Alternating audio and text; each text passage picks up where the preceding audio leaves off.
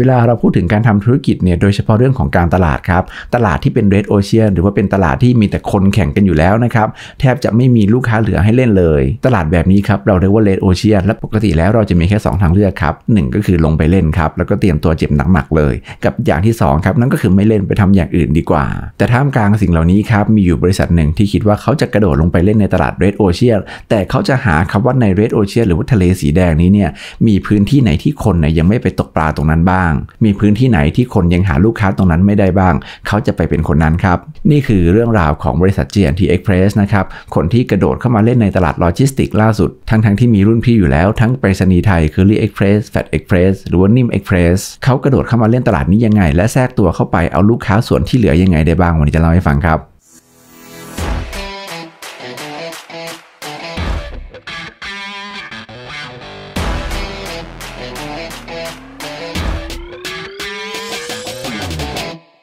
สวัสดีครับ ผมนพพงศธรวันนี้เรากลับมาเจอกันอีกครั้งหนึ่งนอกห้องเรียนธุรกิจนะครับ เพราะปกติแล้วเวลาที่ผมสอนอยู่ในมหาวิทยาลัยเนี่ย เราก็จะสอนให้นักศึกษาเอาความรู้ไปเข้าห้องสอบใช่ไหมครับ แต่วันนี้เราเชื่อว่าความรู้ธุรกิจดีๆ และมุมมองของคนที่ประสบความสำเร็จเนี่ยมันน่าจะเป็นเรื่องดีครับ ไม่ควรจะอยู่แค่ในห้องเรียนแล้วก็ในกระดาษข้อสอบ ก็เลยเป็นที่มาที่ผมอยากจะเอาเรื่องราวเหล่านี้มาแชร์ให้ทุกๆคนฟังนะครับ ดังนั้นวันนี้ก่อนไปฟังอย่าลืมกดติดตาม subscribe แล้วก็กดกระดิ่งกันไว้ด้วย คุณจะได้ไม่พลาดความรู้ธุรกิจดีๆ ที่ผมจะเอามาเล่าให้ฟังแบบนี้ทุกวันครับถ้าพูดถึงตลาดโลจิสติกนะครับในช่วงไม่กี่ปีที่ผ่านมาเนี่ยเราจะเห็นว่ามันคึกคักมากเลยนะครับไม่ว่าจะเป็นไปรษณีย์ไทย Flash Express นะครับเคอรี่หรือแม้กระทั่งนิ่มซี่เส็งนะครับที่มีบริการนิ่ม Express ซึ่งดูแล้วเนี่ยตลาดนี้เราสามารถเรียกได้ว่า Red Ocean เลยครับ ซึ่งเป็นคำศัพท์ทางการตลาดคำว่า Red Ocean นั่นก็คือตลาดที่เราไปหาปลาครับ แทบจะไม่มีปลาเหลือแล้ว ทุกคนเนี่ยมีเบ็ดตกปลานะครับ มีแหมีอวน จับปลาได้เต็มไปหมดครับ ซึ่งปกติแล้วครับ ถ้าสมมติเราพูดถึงมุมมองของการตลาดเนี่ยว่าตลาดนี้เป็นเรดโอเชียนเราก็มี 2 ทางเลือกครับหก็คือเรากระโดดเข้าไปเล่นนะครับสก็คือไม่กระโดดเข้าไปเล่นเลย ก่อนอื่นนะครับเล่าถึงประวัติของ JNT Express นิดหนึ่งนะครับ JNT Express เนี่ยบ้านเราอาจจะเห็นว่าเป็นเจ้าใหม่นะครับแต่ว่าประเทศอื่นๆครับเช่นประเทศอินโดนีเซีย ซึ่งเป็นประเทศต้นกำเนิดของ JNT Express เนี่ยบริษัทนี้ก่อตั้งขึ้นโดยเจสลีนะครับและโทนี่เฉินครับซึ่งเขาเอาชื่อย่อตัวหน้าของแต่ละคนครับนั่นก็คือ J แล้วก็ตัว T เอามาตั้งเป็นบริษัทครับก็เลยมีชื่อว่า JNT Express บริษัทนี้ครับก่อตั้งขึ้นในปี 2558 ครับที่ประเทศอินโดนีเซีย และสิ่งที่เขาทำก็คือพยายามที่จะเรียนรู้กับลูกค้าที่อินโดนีเซียครับพฤติกรรมการส่งของคนในประเทศนั้นนะครับเรื่องของการบริหารจัดการโลจิสติกครับบริหารจัดการสาขารวมถึงบริหารจัดการฟลีดของรถขนส่งครับจนกระทั่งสามารถก้าวขึ้นมาเป็นเบอร์ต้นๆของประเทศอินโดนีเซียได้ และหลังจากนั้นเขาก็ขยายไปหลายประเทศนะครับไม่ว่าจะเป็นเวียดนาม กัมพูชา มาเลเซีย สิงคโปร์แล้วก็มาถึงประเทศไทยครับโดยถ้าพูดถึงสาขาในประเทศไทยเนี่ยเราอาจจะเห็นยังไม่เยอะนะครับแต่ว่าสาขาทั่วอาเซียนเนี่ยมีสาขากว่า 4,000 แห่งนะครับแล้วก็มีพนักงานที่เป็นพนักงานในบริษัทที่จัดการเรื่อง fleet logistic เนี่ยกว่า 50,000 คนคำถามสำคัญครับ นั่นไม่ใช่ว่าเขาก่อตั้งบริษัทมาอย่างไง แต่สิ่งที่ผมสนใจในวันนี้ก็คือ เขาลงมาเล่นตลาดในประเทศไทยได้ยังไง เพราะเป็นที่รู้กันดีอยู่แล้วนะครับ ว่าเวลาเราพูดถึงตลาดเรดโอเชียนเนี่ยเรดโอเชียนก็คือทะเลสีแดงนะครับแปลเป็นภาษาที่เข้าใจง่ายๆ ทะเลสีแดงเกิดจากอะไรครับ ก็คือตรงนั้นครับบริเวณนั้นมีปลาชุกชุมนะครับแล้วก็มีคนเห็นว่าตรงนี้มีโอกาสนะครับทางการตลาด ก็เลยขี่เรือครับเข้ามาแล้วก็ตกปลาตรงนี้ อาจจะตกปลาด้วยเบ็ดตกปลานะครับตกปลาด้วยแหก็ตามเนี่ยจนกระทั่งปลาก็ล้มตายกันเยอะนะครับ จับไปได้ก็เยอะตายในมหาสมุทรก็เยอะนะครับทำให้บริเวณนี้มีแต่การนองเลือดครับเหตุผลที่มันนองเลือดก็เพราะว่ามันไม่ได้มีแค่คนคนเดียวไงครับที่มาจับปลา มีคนที่ 2 มีคนที่ 3 เข้ามาแข่งกันจับครับมีการรบราค่าฟันกันจนทะเลเนี่ยกลายเป็นสีแดง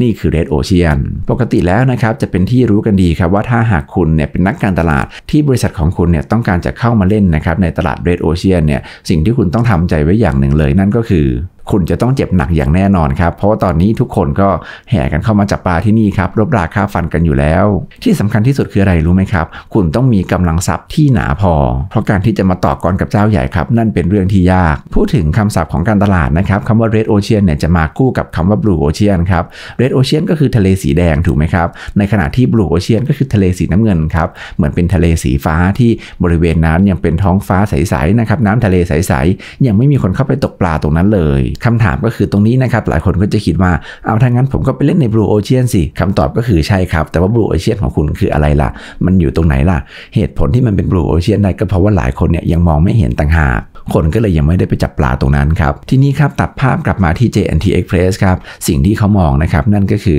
เรื่องของการขนส่งครับหรือว่าโลจิสติกบ้านเราเนี่ยที่มีการแข่งขันกันแดงอยู่แล้วนี่คือ Red Ocean ฉะนั้นสิ่งที่เขาจะทำครับนั่นก็คือเขาจะไปศึกษาตลาดใหม่ครับว่าภายในบรรดา Red Ocean เนี่ยครับเหมือนมหาสมุทรตรงนี้นะครับมันเป็นมหาสมุทรสีแดงๆครับที่มีการรบราค่าฟันกันอยู่แล้ว ปลาเนี่ยโดนตกไปเกือบหมดแล้วนะครับคำถามก็คือสมมุติว่าคุณพูดถึงมหาสมุทรมหาสมุทรหนึ่งเนี่ยครับแล้วเราก็บอกว่ามหาสมุทรเนี่ยมันน่ากลัว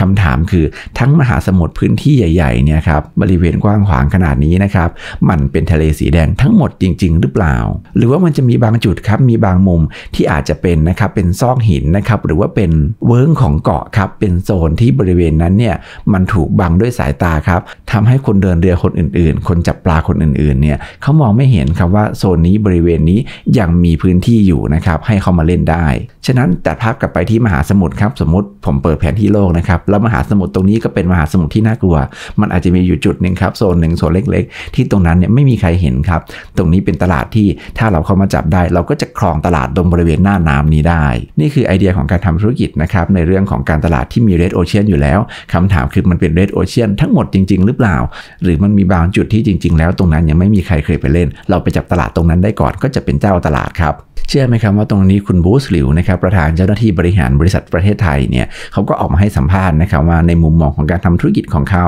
ตลาดโลจิสติกครับที่มีผู้เล่นเนี่ยหลายรายอยู่แล้วนะครับการที่จะกระโดดเข้าไปเล่นตรงๆเนี่ยเป็นเรื่องยากครับสิ่งที่คุณทำได้เนี่ยมันก็แค่ลดราคาให้ถูกกับคู่แข่งนะครับซึ่งแล้วก็มีการจัดโปรโมชั่นลดแลกแจกแถมแบบนี้ สิ่งที่มันเกิดขึ้นคือพอคุณลดราคาครับคนจะมาหาคุณ แต่พอวันหนึ่งที่ราคาคุณไม่ใช่ถูกที่สุดในตลาดแล้ว อาจจะมีคนถูกกว่าคุณครับหรือว่าคุณเนี่ยเล่นโปรโมชั่นไปจนเงินหมดแล้วเนี่ยขึ้นไปเป็นราคาปกติ ไม่มีการลดแลกแจกแถมครับลูกค้าก็จะเดินออกไปจากคุณอยู่ดี ดังนั้นสิ่งที่เขามองครับคือต้องหาจุดขายใหม่ครับหรือว่า unique selling point คำว่า unique selling point นะครับนั่นก็คือจุดขายของคุณที่มันแตกต่างครับ unique ก็คือโดดเด่น นั่นก็คือคุณโดดเด่นกว่าคนอื่น ในแบบที่คนอื่นไม่มียังไงคำว่า unique selling point เนี่ยอาจจะไม่ได้จำเป็นที่จะต้องเป็นอะไรที่มันเป็นปัจจัยใหญ่ของการทำธุรกิจขนาดนั้นก็ได้นะครับ เช่นถ้าพูดถึงเรื่องของโลจิสติกครับการขนส่งเนี่ย unique selling point ครับหลายคนอาจจะคิดว่าอ๋อก็ต้องเป็นเรื่องของการส่งเร็วนะครับราคาถูกอะไรอย่างนี้เป็นต้น แต่จริง ๆ แล้วคุณอาาจจะเป็น unique selling point เรื่องอื่นครับ ที่ดึงลูกค้าบางกลุ่ม ที่เขามีปัญหาแบบเดียวกันเนี่ยเข้ามา